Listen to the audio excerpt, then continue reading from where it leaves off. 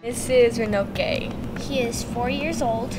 He is very playful. And he likes hot dogs. And he's neutered and microchipped.